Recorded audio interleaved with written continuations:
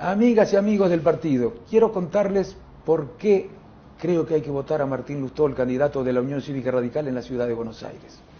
Como cualquier radical, por supuesto, quiero que al gobierno le vaya bien, que resuelva los problemas de los argentinos.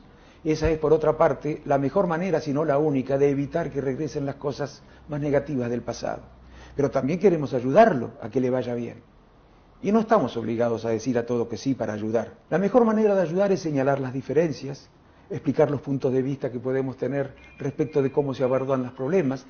Una decisión tomada a partir de la discusión de quienes piensan diferente es la decisión que más acerca al acierto.